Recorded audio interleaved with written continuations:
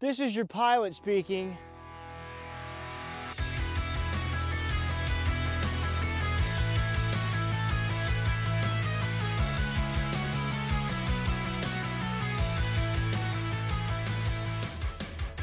Welcome back, Hunter Wilson, owner of Wilson Aerial Spraying. Today I'm gonna show you kind of how I have my trailer set up. That's a big issue, right? How am I efficient with my trailer? Well, I'm gonna start on my tanks. I've got two 275 gallon tanks at the bottom, and that's just purely my water tanks, right? That's what I'm gonna be carrying my water all day, every day. Fill those up in the morning, hit the field, and then I have two smaller tanks up top that I mix in. We usually mix right at 100 gallons, a, what do you call that, a batch? You wanna call it a batch? Yeah, whatever. So probably, it'll usually do 50 acres, right? Two gallons per acre. And what we have is a GX, what was a GX 600? 60. 60, yeah, GX 60, sorry, Honda pump that we use to uh, actuate our chemical as well.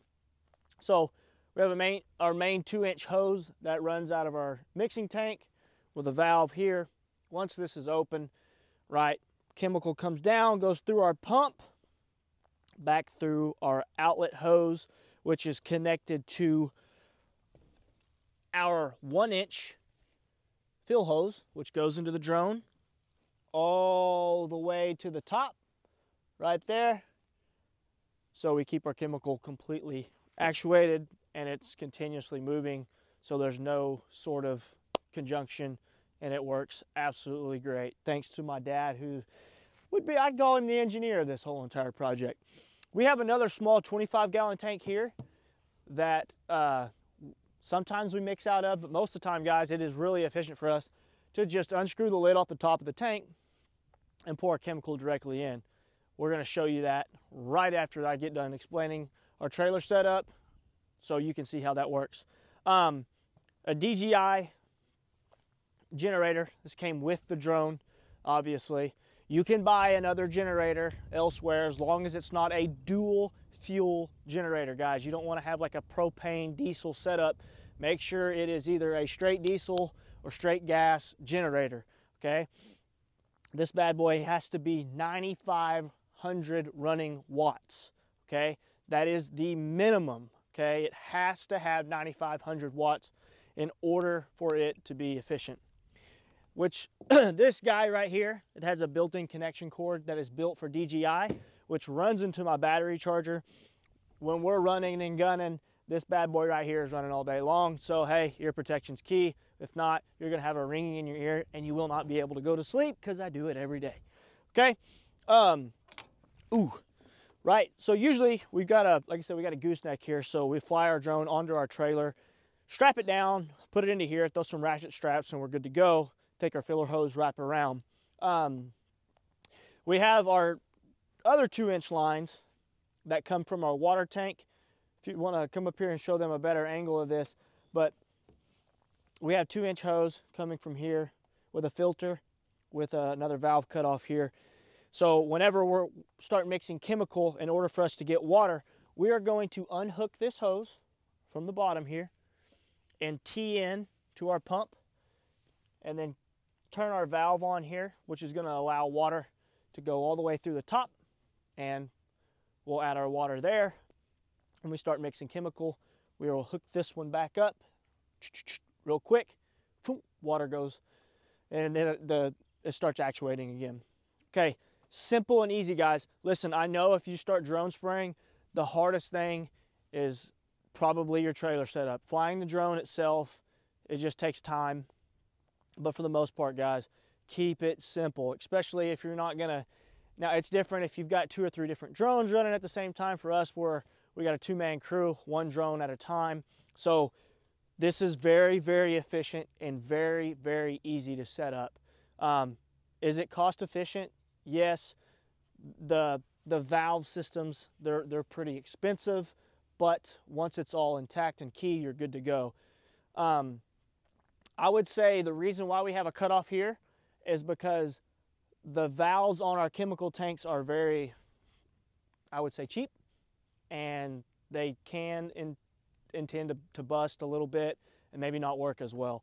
So cutoff is key right here just to make sure there's no hiccups and you have chemical flowing back through that you don't need to.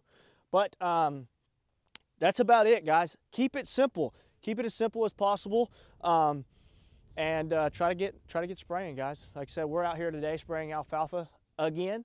Hey, these we've had a lot of warm weather in February, so we're we're going back over some ground that that uh, needs to be sprayed, needs to be killed before these guys get their cutters in the field and start knocking down some alfalfa. First and foremost, these bad boys, okay? Real important, guys, keep your hands clean. I know a lot of farmers, my dad did it for years, so did my cat paw. Hey, they didn't use gloves, cool, whatever, whatever you're feeling. But I use gloves because this stuff's sticky, okay? We are using an insecticide called dimethoate, okay?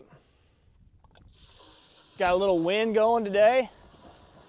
So try to get that sucker down in the hole as quick as possible. All right, those two and a half gallons. And then another two and a half.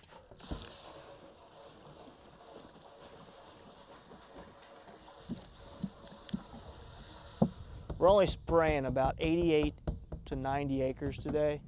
So we're keeping our loads, like I said, 100 gallons do 50 acres at a time. Guys, we're mixing Ravage in there as well.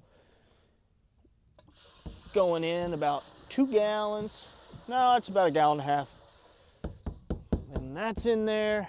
Okay, and the last thing that we're putting in is Invade. It's a surfactant. Get that sticky stuff in there so it'll stick to your leaves real well.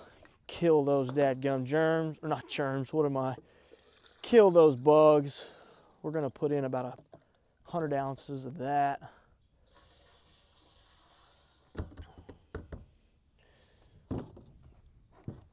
Oh.